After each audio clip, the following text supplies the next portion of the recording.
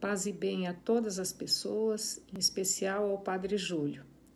Padre Júlio, eu sou Marlene Miranda, faço parte da grande comunidade São Miguel Arcanjo, porque a São Miguel Arcanjo agora faz parte de todo o Brasil, não é? Porque todos nós seguimos e gostamos de receber os seus ensinamentos e, de certa forma, nos aproximarmos do Senhor.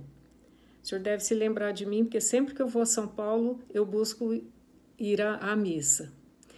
Mas, Padre Júlia, é um momento também que eu quero usar para agradecer é, toda a sua contribuição ao longo da sua história para a construção dos direitos humanos no Brasil, como um cidadão, como um, uma pessoa ativa nessa questão, nesse assunto.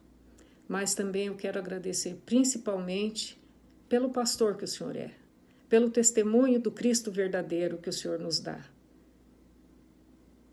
pelo amor que o senhor transmite pela acolhida que o Senhor nos proporciona.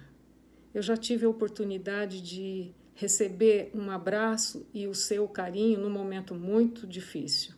E foi fundamental aquele abraço que o Senhor me deu. Então eu aproveito esse momento para dizer que nós amamos muito o Senhor. E nós somos uma comunidade muito grande e estamos sempre junto com o Senhor. Recebam o meu abraço, o meu carinho e a minha gratidão.